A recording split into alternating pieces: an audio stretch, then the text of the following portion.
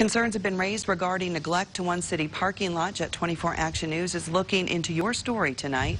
Weeds and grass are continuing to fill the parking lot across from the Liberty Plaza.